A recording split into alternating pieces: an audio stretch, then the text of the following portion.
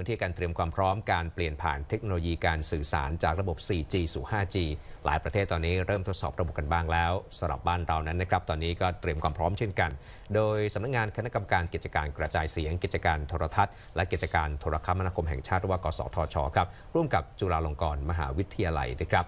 ที่จะร่วมกันในการทดสอบครั้งนี้ครับ โดยเป็นการทดสอบจัดตั้งศูนย์ทดสอบ 5G หรือว่าศูนย์ 5G AI IoT นะครับ Innovation Center ภายในจุฬาลงกรณ์มหาวิทยาลัยครับ เพื่อปฏิบัติการทดสอบ 5G ที่มีการติดตั้ง และดูแลอุปกรณ์สถานีฐานของโครงข่าย 5G โดยได้รับการสนับสนุนอุปกรณ์การส่งสัญญาณ และผู้เชี่ยวชาญจากผู้ประกอบการโทรคมนาคม ผู้ให้บริการโทรศัพท์เคลื่อนที่ และในอนาคตครับจะพัฒนาให้ศูนย์แห่งนี้กลายเป็นศูนย์กลางแห่งการเรียนรู้ระดับนานาชาติ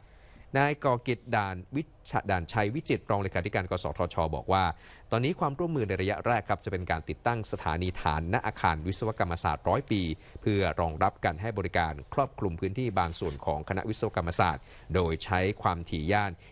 26.5 ถึง 27.5 กิกะเฮิรตซ์ ส่วนในระยะถัดไปครับจะมีการตั้งโครงข่ายเพื่อขยายการทดสอบในพื้นที่ใกล้เคียง โดยการทดสอบจะเน้นการใช้ประโยชน์ในเชิงพาณิชย์ ด้านการพัฒนาการขนส่ง ด้วยระบบ 5G ไม่ว่าจะเป็นเรื่องของการพัฒนาต้นแบบรถยนต์ขับเคลื่อนอัตโนมัติ การติดตั้ง ติดตั้งกล้องไร้สายภายในและภายนอกรถบัส รวมถึงการติดตั้งเซ็นเซอร์วัดสภาพแวดล้อมครับคาดกันว่าเทคโนโลยี 5G นั้นจะเห็นเป็นรูปธรรมได้ภายในปี 2563 การเตรียมความพร้อมรองรับการเปลี่ยนผ่านเทคโนโลยีการสื่อสารจึงถือว่าเป็นเรื่องสำคัญครับ เพื่อเป็นการวางรากฐานให้ประชาชน สามารถใช้ประโยชน์และก็เข้าถึงได้อย่างครอบคลุม